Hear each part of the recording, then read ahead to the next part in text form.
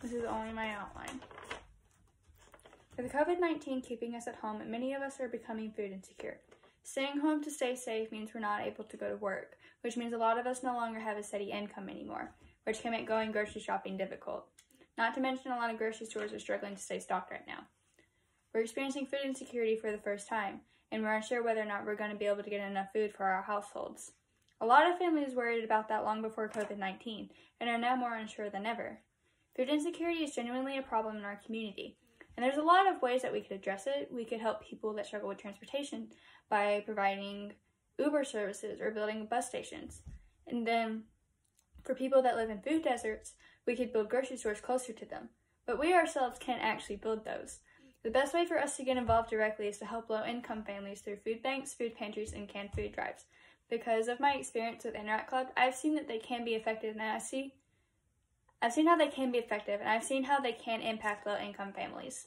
Because preventing food insecurity prevents all the chronic health issues that come with it, such as be obesity, depression, heart disease, and cancer. So, if we help ineffective food banks become more effective, we can really help a lot of people in our community and help bring food insecurity to an end. Because food banks are usually only a temporary fix. Because they depend on donations and volunteers, that means they don't always get all the resources that they need. It's like how right now Walmart isn't stocked very well. So if food banks aren't stocked very well, they're not going to be able to feed a lot of people. That's why we need to donate, and it's why we need to put in the effort for it. Motlow is a great place to start because they have their own canned food drive every year. But from what I've seen, the boxes usually seem pretty empty, and that makes me assume that the, the canned food drive is not very effective. My high school hosts a canned food drive, and my senior class alone raised over 5,000 items. There's only 88 kids in my graduating class. Motlow's Fayetteville campus alone has five times the students, so if we all put in the effort to do this, then we could raise a lot more than 5,000 items and help a lot of people in Lincoln County's community. Then a great place to go shopping could be Save a Lot. I've gone shopping in Fayetteville Save a Lot for a canned food drive, and I've bought over 100 items for less than $60. It's a great place to stock up on low price food to donate. Then, if you can't go grocery shopping or help donate food directly, you could always just donate cash. Natalie Whaley did an interview with Joel Berg from the Coalition Against Hunger in New York, and he actually states and encourages cash donations over food donations because of how ineffective food banks can be sometimes. These cash donations could also go towards buying more vital, nutrient dense foods because the Journal of Community Health did a review of food banks and found that a lot of food banks lack in nutrient dense foods like dairy, vegetables, and fruit. And so, since we can't really donate a bag of carrots to a food bank, we could always just donate the money so they can provide it. And so, by donating money, we could also keep these food banks around more frequently because the events that I worked with in Winchester only happen once or twice a year, which means in between visits to these events, families are going to remain food insecure. So, if we make them more frequent and make them more effective, then we can truly help these people in our community. The government on their own does a lot to address food insecurity in America through the through the Supplemental Nutrition Assistance Program SNAPS and the National School Lunch Program. Food and Research Action Center states that SNAPS is one of the nation's most direct defenses against hunger.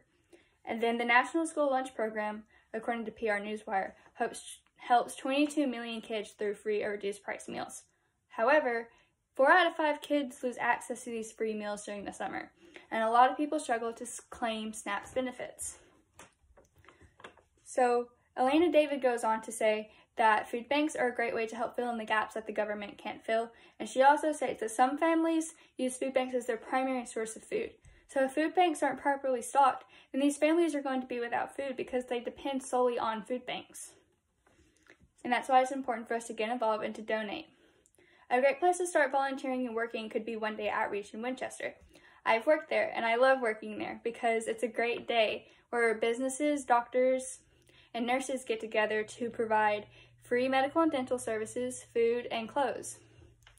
And I usually work in the food section, and all I have to do is either help hand out the food or help carry boxes of food to people's car for them. And then there's also a mobile food pantry hosted at Abundant Life Church in Winchester. This church is stocked full of food, and they need all the help they can get handing it out after we're done sorting it and bagging it. Because after my Interact Club leaves after doing their part, it can get chaotic really quickly. And these events are hosted by churches. So Lincoln County churches could even host something similar because John Arnold writes a book on how to do this. With $5,382, you can purchase enough food that would meet 60% of an area's estimated need. So an average church has around 70 members. And if three churches got together and each member donated $25, then you could host a really effective food bank at your church.